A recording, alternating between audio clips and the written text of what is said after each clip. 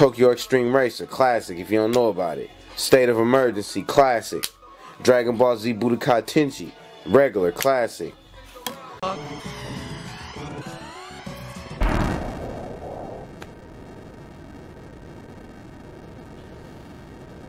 I was doing fine, and the fucking guy who blows up literally drove into me. I didn't drive into him. I was making the corner, and he drove his car into mine and fucked me over.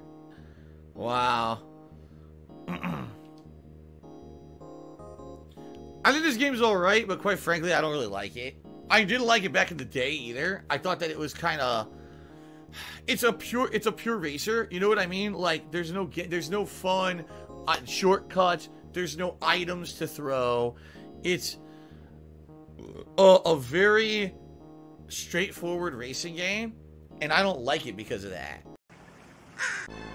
Oh fuck this game. I'm done. I'm serious. I'm done.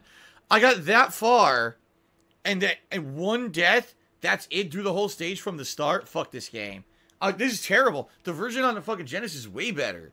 The version on the Genesis has better checkpoints and doesn't slow down.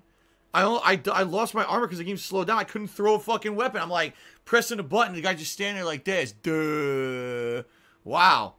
I'm super glad, super glad that I didn't get this. If I bought this for the Super NES, I would have been so disappointed. This game sucks ass.